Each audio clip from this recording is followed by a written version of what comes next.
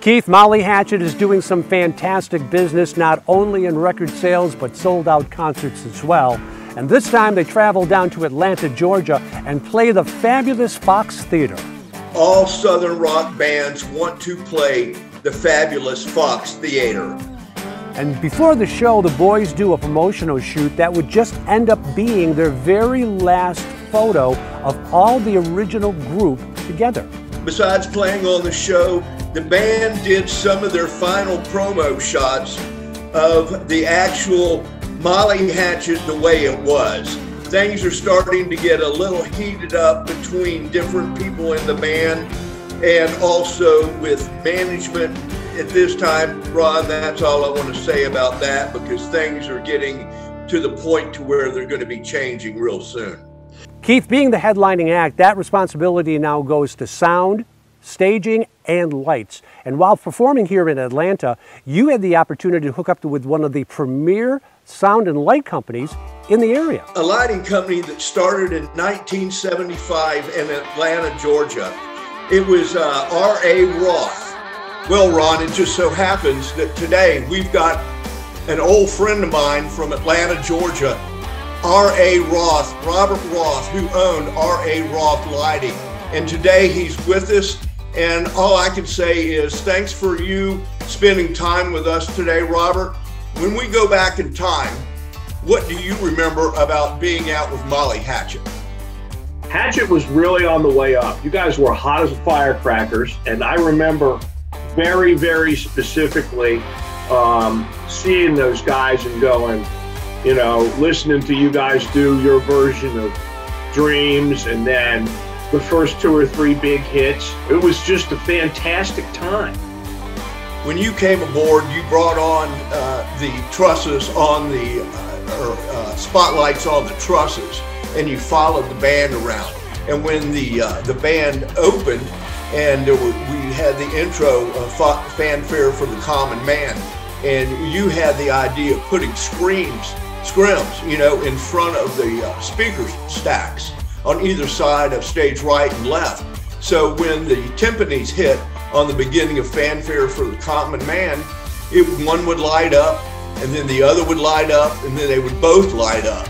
It was just uh, incredible the way you actually made Molly Hatchet bigger than life on stage, and you gave the fans an incredible show. The other thing that was a big part of it was we had a gentleman by the name of Ron Strang, a very famous scenic painter, paint those backdrops. They were such a big part of the show because there were the album covers, of course, and you know that we would change the drops depending on what the guys were playing, etc., etc. I mean, it made a bigger life. It was just simply incredible.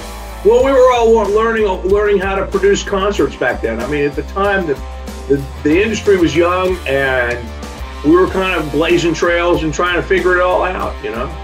You know, Robert, you and I had a great run together. I mean, I have so many great memories of all of it and the craziness of all those days. Are there any stories that you would like to share? I, I'm sure you must remember this because this was one of two or three times in my career where incidents happened during the show and the police cleared the crowd out on horseback. The band's on stage playing. This is long before metal detectors or anything like that. And somebody threw a Jack Daniel, excuse me, an empty Jack Daniels bottle, and it hit Bruce in the forehead. Okay? So I'm out front watching all this, not knowing that's what happened.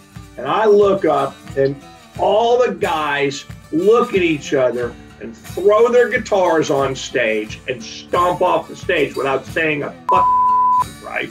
Well, then the fun started because the crowd decided to express their displeasure by throwing things at the stage. And I remember taking cover behind the backdrops as these bottles are coming in and breaking on the PA and on my lighting trusses, and there's glass raining down. And I'm going, oh, we got a problem here. And this is the old Barton Coliseum. You know, you wake up in the morning and it smells like a cattle barn out back because that's what it was. And that was pretty exciting.